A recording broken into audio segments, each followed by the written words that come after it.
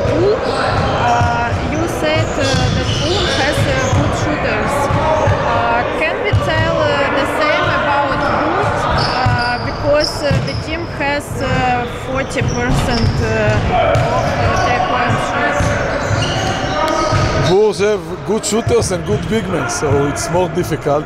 And you see the results. I think they are first in the group, and also in the, the French league, they are really good team. It's not a secret that we are now uh, missing uh, important players uh, in the point guard position. But it will be tough game, and uh, they have Bourges have everything: big men, guards, good shot. They play good inside. They have good athletes. Very good team. Uh, you also said that Ulm is a typical German team. Uh, can you also say that Bourg is typical French team? No. No? No, because uh, Bourges, uh, yes, they're athletic like uh, all French team, but uh, they have more. Uh, they play with more uh, patience and they are more uh, smart sometimes on offense. So I can't say uh, the typical French. Caleb Agada has an injury.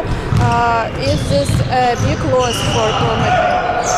Of course, you know. Uh, Caleb Agada uh, play last games as a one position because Sidov was injured, and uh, and he was made good job. And for, for us, Caleb is a very important uh, weapon, defense and offense. Someone else need to step in and uh, take his uh, position.